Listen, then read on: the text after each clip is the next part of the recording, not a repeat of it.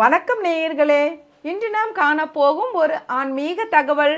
கிருஷ்ணரோ யானையின் மீது எய்த அம்பு குறி தவறியதைக் கண்டு அர்ஜுனனோ நகைத்ததன் விளைவென்ன தெரியுமா? குருஷேத்திரத்தில் பாரத போருக்கான போர்க்களத்தை தயார் செய்யும் பாணியில் பாண்டவர்களும் கௌரவர்களும் ஈடுபட்டு கொண்டிருந்தனர். அப்பொழுது சேவகர்கள் அங்கிருந்த பெரிய மரத்தை யானையை கொண்டு வேரோடு பிடுங்கி எறிந்தனர். அந்த மரத்தில் வசித்து வந்த நான்கு குருவி குஞ்சுகளும் தாய் சிட்டுக்குருவியும் கீழே கூண்டோடு விழுந்தன. அப்பொழுது கிருஷ்ணரும் அர்ஜுனனும் பாரத போருக்கான ஆயுத்த பணிகளை பார்வையிட்டு கொண்டிருந்தனர். கீழே விழுந்த சிட்டுக்குருவியோ பறந்து வந்து கிருஷ்ணரின் தோல் மீது அமர்ந்து கிருஷ்ணரிடமோ பேசத் தொடங்கியது. இறைவா ஒரு தவறும் செய்யாத எங்களை நடக்கவிருக்கும் பாரத போருக்காக என்னுடைய கூட்டை தாங்கிய மரத்தை யானையை கொண்டு வேரோடு பிடுங்கி எறிந்தனர். அந்த மரத்தில் உள்ள கூட்டில் நானும் என்னுடைய நான்கு குஞ்சுகளும் மகிழ்ச்சியாக வாழ்ந்து வந்தோம். ஆனால் இப்பொழுது என்னுடைய கூட்டை தாங்கிய மரமும் இல்லை என்னுடைய கூடும் இல்லை. என்னை விடுங்கள் பறக்கவே அறியாத என்னுடைய குருவி குஞ்சுகள் எப்படி உயிர் வாழும்? நிகழவிருக்கும் போரால் அவையும் இறக்கத்தான் வேண்டுமா? என்னுடைய குஞ்சுகளை இழந்து என்னால் மட்டும் உயிர் வாழ முடியுமா வாசுதேவரே? என்று கேட்டது குருவி. அதற்கு கிருஷ்ணரோ சிட்டுக்குருவியே நீ சொல்வதை என்னால் உணர முடிகிறது. ஆனால் இயற்கை விதிகளை எதிர்த்து நாம் ஒன்றும் செய்ய முடியாது. காலச்சக்கரத்தின் கணக்கை யாராலும் மாற்ற முடியாது சிட்டுக்குருவியே என்றார் வாசுதேவர். அதெல்லாம் நான் அறியேன். நீங்கள்தான் எங்களை காப்பவர். எங்களை காப்பதும் அழிப்பதும் உங்களுடைய பாதங்களில் விட்டுவிடுகிறோம் என்று கூறிய தாய் சிட்டுக்குருவி பறந்து சென்று கிருஷ்ணரின் தேர் மீது அமர்ந்தது. கிருஷ்ணரும் சிட்டுக்குருவியும் பேசியதை கேட்டு ஒன்றுமே புரியாமல் நிற்கிறார் அர்ஜுனன். வாசுதேவர் அர்ஜுனனிடம் அர்ஜுனா போய் என் தேரில் உள்ள வில்லையும் அம்பையும் கொண்டு வருகிறாயா? என்று கேட்க பாரத போரில் ஆயுதமே ஏந்த மாட்டேன் என்றாரே. எதற்காக வில்லையும் அம்பையும் கொண்டு வரச் சொல்கிறார்?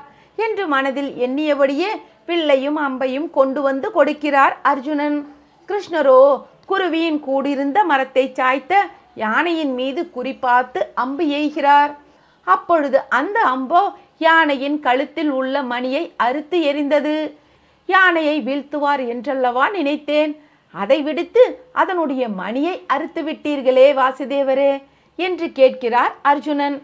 நான் வேண்டுமானால் யானையை வீழ்த்தட்டுமா என்று கூறி தானே சிறந்த வில்லாளன் என்று மனதில் எண்ணுகிறார் அர்ஜுனன். அதனை அறிந்த வாசுதேவர் சிறு புன்முறுவலுடன் வேண்டாம் பார்த்தா அதற்கொன்றும் அவசியமில்லை என்று கூறுகிறார். பிறகு ஏன் யானையின் மீது அம்பு எய்தீர்கள் வாசுதேவரே?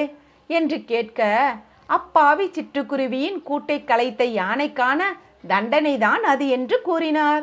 அர்ஜுனனிடம் வில்லையும் அம்பையும் கொடுத்து கொண்டு போய் இதை தேரில் வைத்து விடுகிறாயா பார்த்தா? என்று கிருஷ்ணரோ கூற மறுபடியும் கிருஷ்ணர் கூறுவதை புரிந்து கொள்ள முடியாமல் நிற்கிறார் அர்ஜுனன். பதினெட்டு நாள் பாரத போரை முடித்து பாண்டவர்களோ வெற்றி பெற்ற அடுத்த நாள் சிதைந்து போன போர் தடவாளங்களை சேவகர்களோ அப்புறப்படுத்தி கொண்டிருந்தனர். அப்பொழுது வாசுதேவர் அர்ஜுனா இங்கு வந்து இந்த மணியை கொஞ்சம் அப்புறப்படுத்தி போடுகிறாயா? என்று கிருஷ்ணரோ கேட்க அர்ஜுனன் மணியை தூக்கிய பொழுது என்னே ஆச்சரியம்.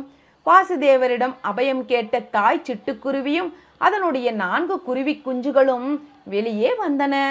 இன்று முதல் உங்களுக்கு சுதந்திரம் என்று கூறிய வாசுதேவரை தாய்க்குருவியோ தன்னுடைய நான்கு குருவி குஞ்சுகளுடன் சுற்றி வலம் வந்து தன்னுடைய அழகால் அவருடைய பாதத்தின் கீழே தரையில் கொத்தி வணங்கி பின்பு நன்றி கூறி ஆனந்தமாக பறந்து சென்று வானத்திலோ மறைந்தது. அப்பொழுதோ அர்ஜுனன் வாசுதேவரே உங்களை மனித உருவில் பார்த்து பழகியதால் நீங்கள் உண்மையில் யார் என்பது என்னுடைய சிற்றறிவுக்கு சிறிது காலம் புலப்படாமல் போய்விட்டது. மன்னித்து விடுங்கள். எங்களை மட்டுமல்ல அண்டத்தில் உள்ள அனைத்து உயிர்களை எல்லாம் காப்பவர் நீரே என்று அறிந்து கொண்டேன் என்று அர்ஜுனன் கைகூப்பி வணங்கி வாசுதேவா எங்களுக்கு கதி நீயே சரணாகதி நீயே என்று அவருடைய பாதம் பணிந்து வணங்கி நின்றார் அர்ஜுனன்.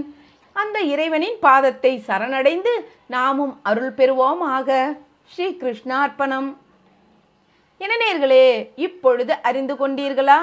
கிருஷ்ணரோ யானையின் மீது எய்த அம்பு குறித்தவறியதைக் கண்டு அர்ஜுனனோ நகைத்து பின்பு மன்னிப்பு கேட்டு அவரிடம் சரணாகதி ஆனார் என்று.